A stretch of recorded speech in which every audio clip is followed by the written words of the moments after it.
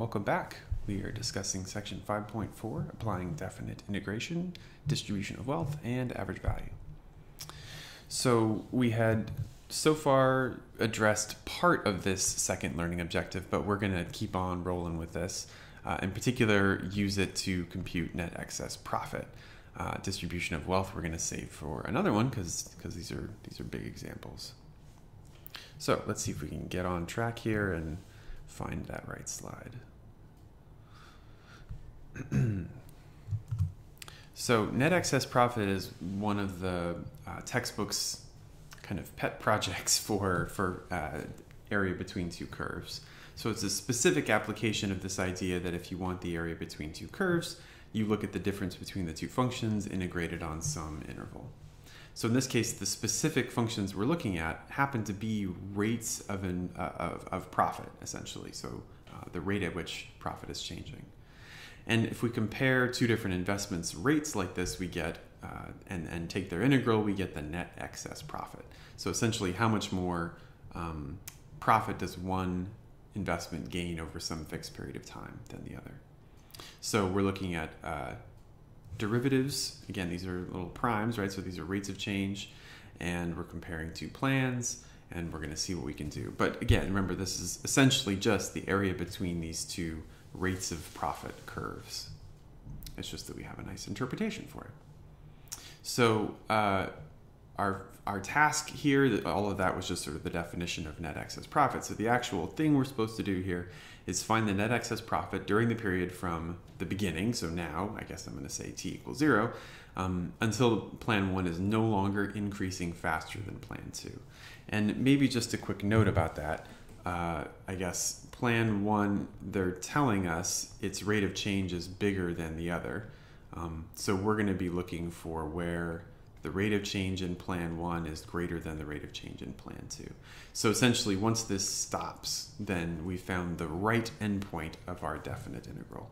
We're from t equals zero until this statement is no longer true. So here's our big old wall of text for how to how these plans are operating. Um, plan one's an investment that's increasing in value at $500 per day. Um, I, I want to be really careful about how to dissect this. So the statement that it's increasing in value at $500 per day currently is basically telling me that P prime, uh, P1 prime right now is 500. So all of these statements about increasing at a certain rate or what have you are talking about uh, the P prime, the, the marginal profit, if you will and that it's increasing instantaneously by 1% per day. And I want to be also super, super cautious about this because when something increases at a percentage rate, that should imply exponential growth. So this is actually saying that P1 prime is an exponential function itself.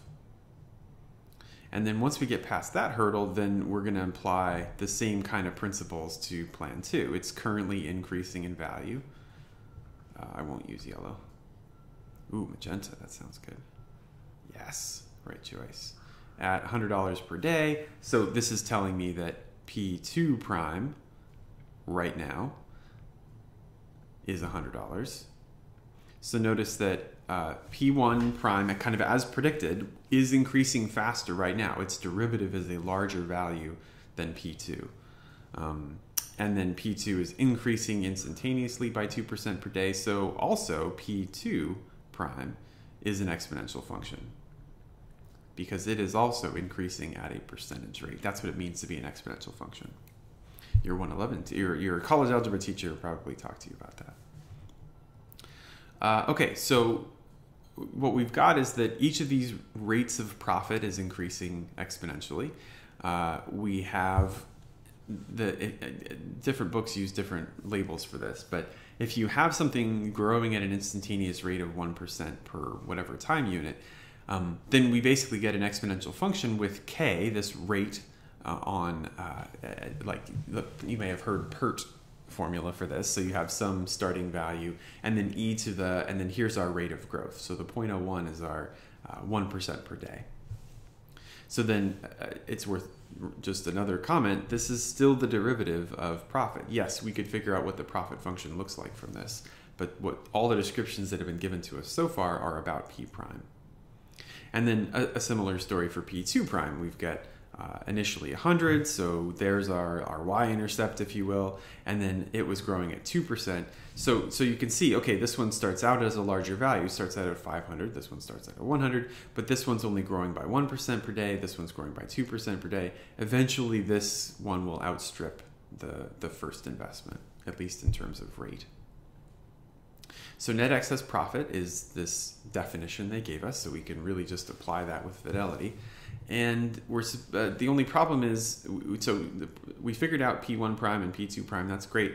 I, I, guess i don't know what a and b are. Maybe maybe we know what a is because they told us start right now. But b is a little bit of a mystery uh, at least for the moment. But remember that they said look figure out when plan one stops increasing faster and then you'll have the other side of this interval. In other words, you'll, ha- you'll have found the value of b.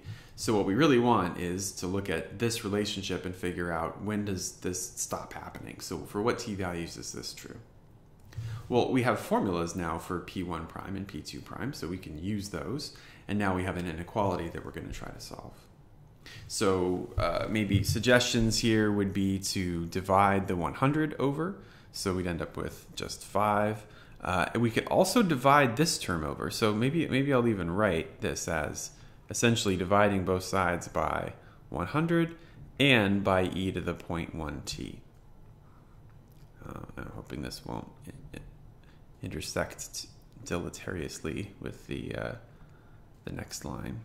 No, but my second grade scrawl will. Ah, just barely missed overlapping. So if we divide by 100, this right side gets cleaned up of, uh, of constants. So now you have 500 over 100, so there's the 5. If you divide by e to the 0.01, then you get this great uh, property of exponents where you get to subtract their powers.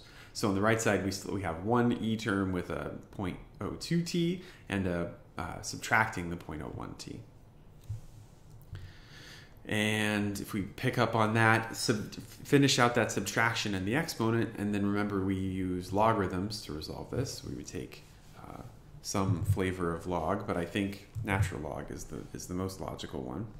So we would take our uh, natural log, throw that on both sides. That's going to make our e to the whatever go away, and, and then we're in good shape. So last thing to do would be divide out that 0.01. So this gives us an approximate value of 160.9ish. And just for the sake of this, let's round to the nearest day. And remember, what we found is that essentially after 161-ish days, that first investment stops increasing at a faster rate than the other one. We don't actually know their, their relative profits. We never know a starting value for these. But what, what we're curious about is which one gains more over this time. So as soon as that first plan stops increasing at a faster rate, we stop looking because that's what we were instructed to do. So now we have the last piece of the puzzle. We know this 161 now, which is which is great. Okay, so uh, here we are. We've got uh, a, a definite integral that we're actually capable of working with, and now we just got to go to town. So each of these two terms you can separate over subtraction, which is handy. Uh, each of these two terms has our exponential rule. So basically we're going to end up with e to the whatever still, but we'll divide by that constant, that k. So we're going to have some extra big coefficients with these. This would be like 50,000. This would be uh, something similar. Um, and then uh, we've got some exponents to manage. But this is something a calculator can help us out with, and we get actually pretty close to a nice round number, almost 80 grand.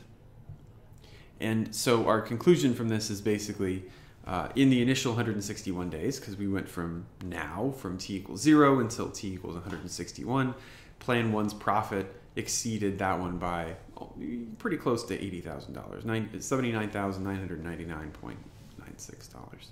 So we don't really know their uh, their their absolute values of profit. We don't know where they started, but what we do know is that Plan One grew by eighty thousand dollars more than Plan Two did.